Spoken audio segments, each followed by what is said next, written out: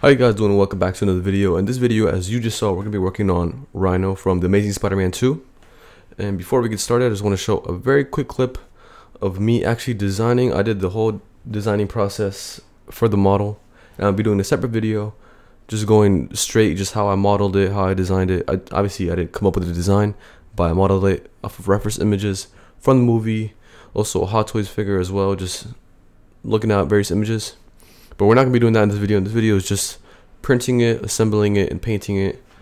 So as I just said, printing it. So here it is, all printed out, and I got lucky and I managed to squeeze it all into the build plate of my Elegoo Saturn. So that's all there, you know, all the support. It took long as fuck to get all the supports in, man. That was really that was really hard, but eventually I got all the supports done, printed it all in one one build plate, which is what I really wanted to do. I didn't want to print multiple times and stuff. I believe it took like 15 hours to print, so it wasn't that bad, but but it was a big, you know, a big model to get printed, so it was a it was a pretty decent time. And also after printing it, removing all the supports, obviously it's all the boring stuff. I just did a little bit of light sanding all throughout the you know the model, making sure that it's all nice and that the paint will stick nicely, cleaning up all little bits. There's some supports that are stuck in between all the details and all that. And man, at this stage, I was really happy how it printed out and just seeing all the details and stuff. When i print when i was designing it on zbrush i used textures that had like the like metal sort of imprinted details on it and it just came out so sweet. It just looked so amazing and i was so excited to get to, get to it. And i'm starting off here with the Stynylrez black primer. I've mentioned this paint is the one that i use to prime all all customs all you know 3d printed things. It's pretty good pretty good primer.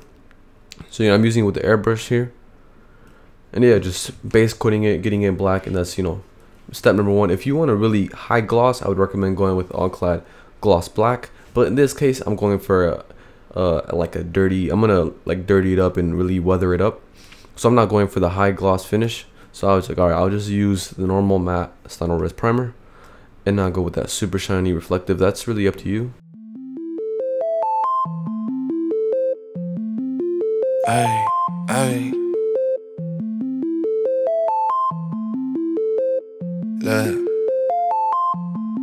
I'm too cool for the rules, baby, get off of me. Never need no push, I do it all for me. Keep a couple real hitters, got them on call for me.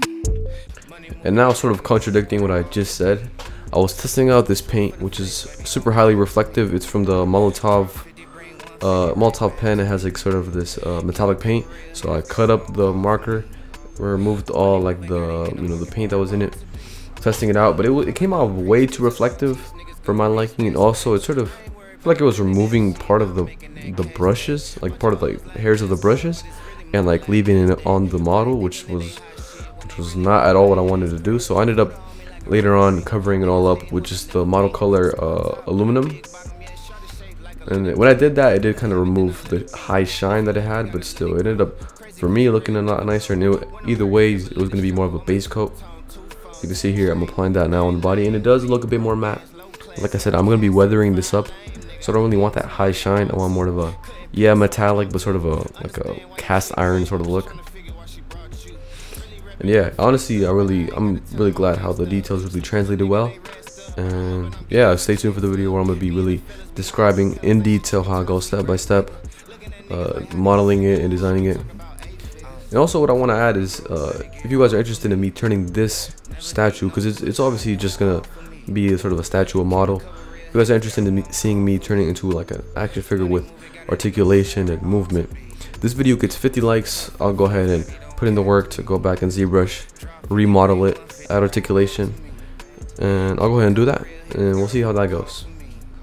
So now I just want to describe sort of what I'm doing now, which is actually there's some panels all throughout the model where they're brown because I, I, was seeing a bunch of reference images and that sort of like has like a, a two-tone look with brown. What I did is basically have a base coat of just like a flat you know uh, mid-tone brown. Then I come around the outside edges outside borders with a darker brown mixed with like black to get that darker tone.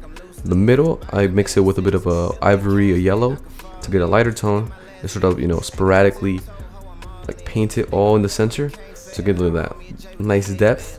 And after I get all that and blend it in nicely I come in with the silver and just do sort of that edge highlighting just on the nice edges and in the middle I have some scratches and stuff. So it looks like it's like painted up metal and has sort of that I don't want to say rusted look but a little bit you know that worn in look.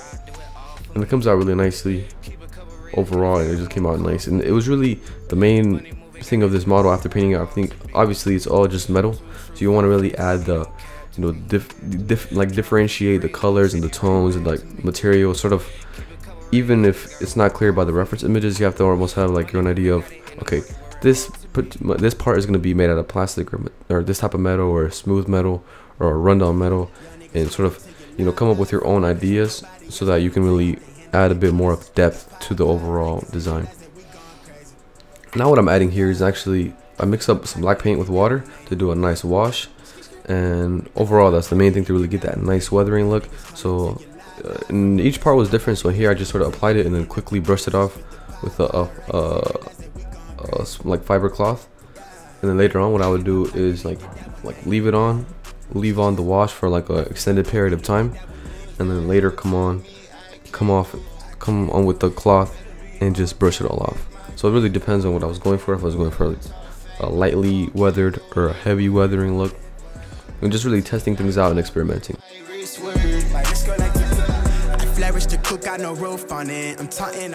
and overall, it was just repeating this process over and over again throughout the entire model. So like I said, the brown, doing the blacked out border, the center with a bit more of a yellow tone, and overall the like nice edge highlighting with the uh, with the silver to get that nice sort of scratched up and dinged up look.